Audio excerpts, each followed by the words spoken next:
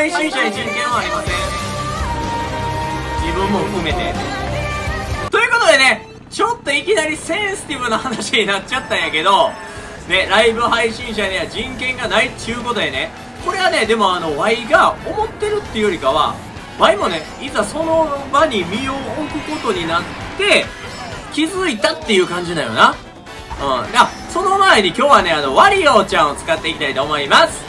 これはなんでかっていうと、マリオ界隈の中で一番人権なさそうやから。そんな言うたらあかんか。そんな言うたら、ワリオファンに怒られるわ言うて。いや、ワリオファンなんかおらんわ言うて。いや、メイドフィワリオあるか。いや、そんなんええよ。さっきの話なんやけどな。その、まあ、改めて自己紹介がてら自分の話をするとやね、えー、わいはね、えー、2年ちょっとぐらい、あの、LINE ライブっていうね、配信アプリで、あの、リスナー様のね、ありがたいことに投げ銭でですね、あの、生計をずっと立てさせていただいてるんですね。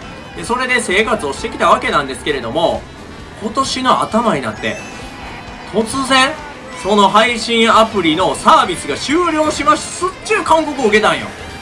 これ偉いことよ。突然収入源がなくなるっちゅうことやね。で、この時にね、思ったのが、あの、これ会社員やとしたら、これっていわゆる、まあ、会社が倒産します。だから君たちリストラみたいな状況なんやと思うんやけど、ね、その場合って失業保険っていうのがあんのよ。で、これ何かっていうと、その失業した後って当然次の仕事がないわけやから、収入源がないわけよ。だから、その期間だけ、一定期間だけ国が、あの、生活を保障しますよっていう制度があるわけよ。ただ、ライバー注意義も、もちろんないわけよね、そういうの。ってことはもう媒体が終わってしまったら、残るものはほとんどないんよ。強いて言うなら、そこでね、あの、出会った方々との絆ぐらい。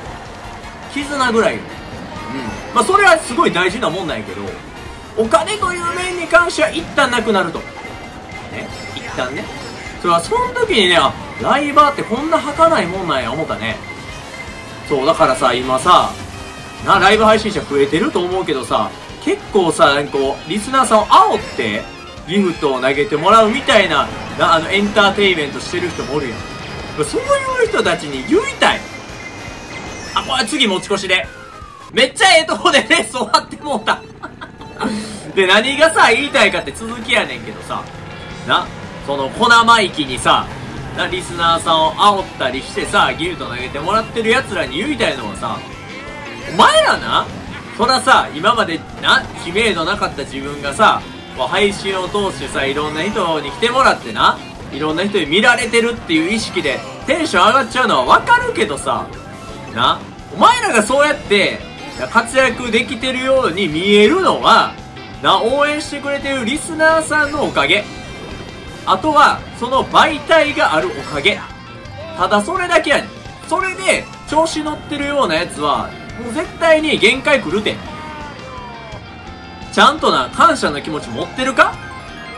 お前がそこで活躍できてる、な、パーセンテージは、大半がリスナーさんの力。で、その場所を提供してくれてる媒体運営のおかげ。お前の力なんか1%とかしかないからな。それで調子乗ってるようじゃあかんよ。で、結局さ、そういうさ、煽ったりする形でさ、人気出てるやつってさ、な、別に、リスナーさんお前のこと応援してるわけちゃうんよ。ただ、なんかその枠の雰囲気煽ったり煽られたりとかする、そのバチバチな雰囲気が好きなだけであって、お前を応援してると思ったら大間違いよ。だから結局、な、なんかその媒体が終わってさ、お前が別のアプリに移るとかなった時に、大半はついてこうへんっていうのを自覚しといた方がええで。それをな、分かってない人が多い気するな。な。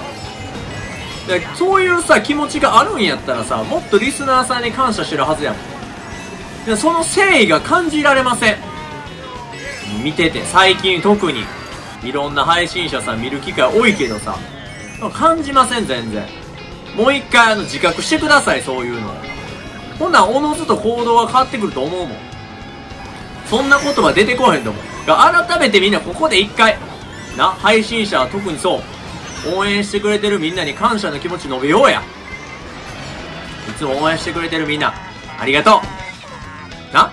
この一言あるだけでまた全然変わってくんのよ。ただこれ例外がな、一個だけあんのよ。それはまたな、次、話そう。ね？ほな、じゃあその例外は何やっちゅう話よ。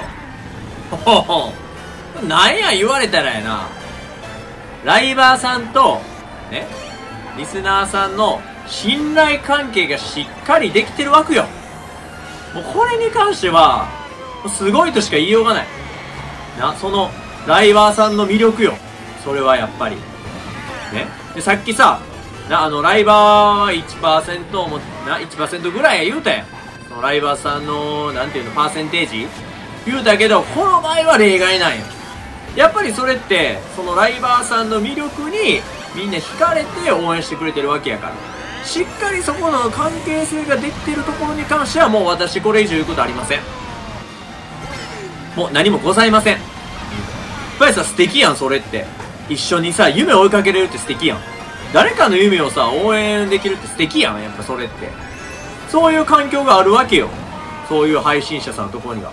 で、そういう人たちでさ、媒体、例えば終わったとしてもさ、な、例えばファンクラブ作るとか、な、そういうのでもみんなついてきてくれるやろうし、ね、他の媒体で配信するってなっても来てくれるやろうし、ライブするとかなっても来てくれるやろうし、なんとでもやるようあるんよな。その媒体に頼ってないっちゅうこっちゃよ。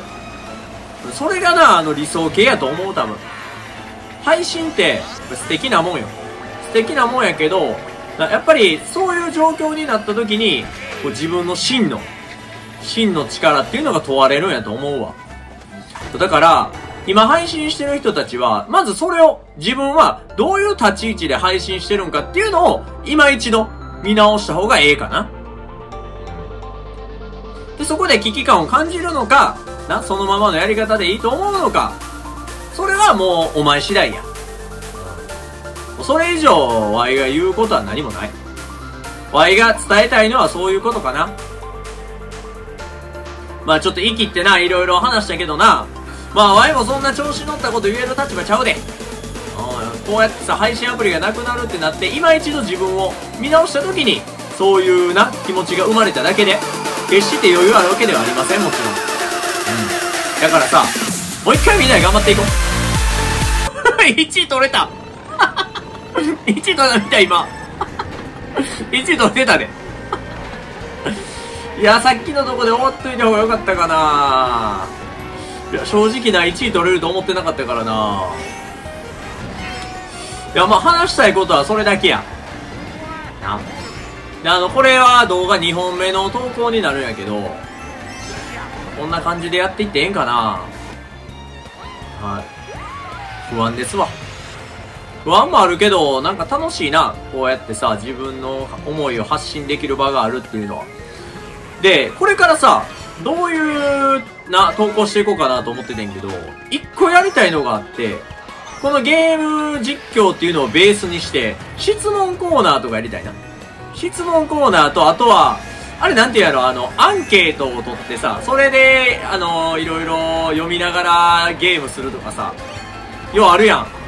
なんていうの、こう、今まで出会った男で一番気持ち悪かったのはとかさ、こう、見てくれてるみんなから、アンケートを取って、それをネタにして、な、いろいろこう答えていくみたいなのあるやんか。ああいうのやりたいな。おらんのんちゃうゲーム、ゲーム実況しながらそういうのやる人おらんのんちゃうまあ、いろいろとやりたいことあるからさ。じゃあこうしよう。これ1位取れたら、な、YouTube、このフルフルの YouTube、成功できるっていうのを、ね。これどうよ？やっていこうよ、最後。ラスト、これラストランやから。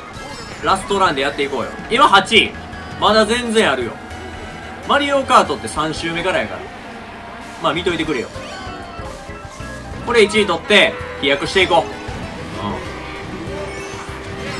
う。うん。難しいなこう、ゲームしながら喋るってもう難しいで。いざやっぱやってみるけどさ、結構簡単そうに見えるやんパッと見はさ、でも全然そんなことないわ。やってみて思う。まだいけるよ。あ青青コーナーもいったね。いけるよいけるよ。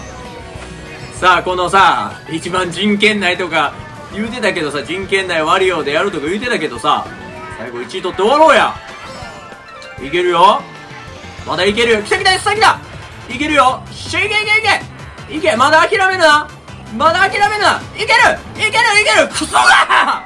チャンネル登録してね。チャンネル登録してね。チャンネル登録してね。